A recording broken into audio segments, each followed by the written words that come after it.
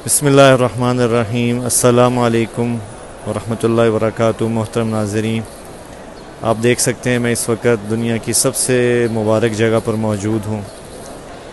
और, आप सबको मालूम है कि एक माह पहले बहुत बड़ा हादसा हुआ हमारी फैमिली में, हमारे भाई के दुनिया से जाना जाना हमारे लिए एक बहुत बड़ा हादसा था। तो मुतफ़ा तौर पर हम सबने ये प्रोग्राम बनाया कि अल्लाह के दरबार में हाज़िरी देते हैं। उसके घर जाते हैं, इससे बड़ा सुकून और रिलीफ हमें कहीं नहीं मिलेगा। तो अल्हम्दुलिल्लाह, यहाँ आना हुआ और अल्लाह का ही शुक्र अदा करते हैं, जिसने यहाँ हाज़री मुकद्दर लिखी और वाकई ही बहुत बहुत रिलीफ मिला हमारी पूरी फैमिली को, मौलाना को, वालदा को, बहनों को।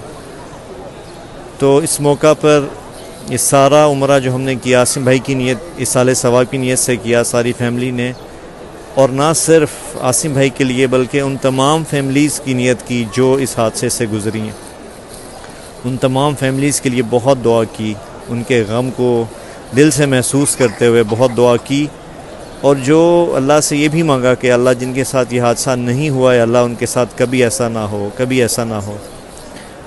और इसके अलावा उन सब बहन भाइयों को भरपूर दुआ में याद रखा, जिन्होंने इस गम के मौका पे पाकिस्तान से या दुनिया भर से आसिम भाई के लिए इजहार ताज़ियत किया, उन सब के लिए बेशुमार दुआएँ की और पूरी उम्मत के लिए दुआओं का अल्लाह ने अहतमाम करवाया। और इन हम जब तक मक्का में हैं, दो तीन दिन हमारे बाकी हैं, हम आप सब के लिए दुआओं का इसी तरह अहतमाम जारी रहेगा इन